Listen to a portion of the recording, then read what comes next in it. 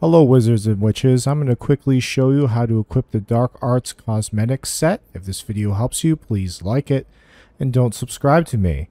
Alright, so I'm just going to press the middle button to go into your map. I guess you can also press the start button too.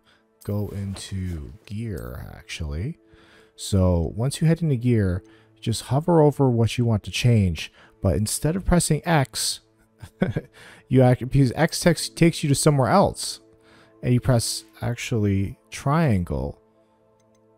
All right, see how it says change its uh, appearance right there in the kind of bottom left of that text screen, just down there.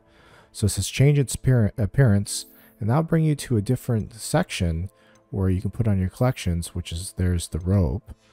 And then uh, what else do you get? I think you get some gloves. So if I press square again, and there's the Dark Arts gloves. Was there more? Okay, so again, if I press square, it shows me yeah, the Dark Arts right there. All the equipment and different things I can wear. All right. If this video helped you, please like it and don't subscribe to me. Also remember, this is only for the deluxe, deluxe edition.